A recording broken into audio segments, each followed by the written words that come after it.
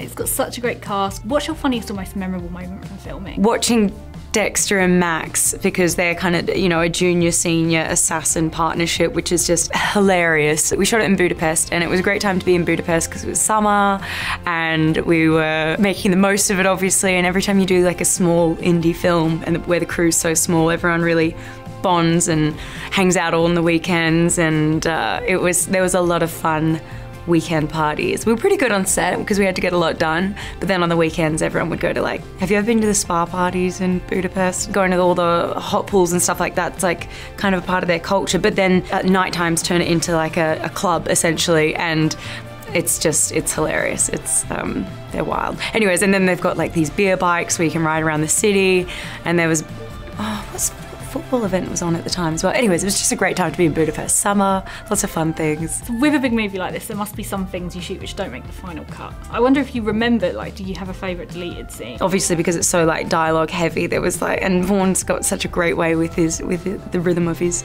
writing. But obviously, a lot of it had to get cut out because, as he would say in his words, it's very wordy. Some movies are like that, where where everyone just kind of expands on what's on the page, and then other ones like this, the the, the rhythm and the beats were already there on the page, so we kind of stuck to that. Plus, there was just so much of it. You had to like learn your lines and then, you know, stick to them. Annie is playful, twisted, got a bit of a bloodlust, a bit like Harley Quinn. Everyone keeps saying that, and I just don't. I hadn't thought of that. I see what you mean though, but I uh, I hadn't I hadn't seen them as being similar, I guess, because they exist in such different worlds and times in my life. But yes, I think they do have a few things in common. I read in an interview that you said that for the Harley Quinn movie, you want to see her team up with a gang of girls. Yeah. If you could pick any female comic book character to see her on screen with, who would that be? I have picked a few ones that I want to see on screen with, and we're doing it. I've been working on the spin off film, well, the Harley Quinn film, for a couple of years now, so soon get to show it to everyone. It'll be exciting.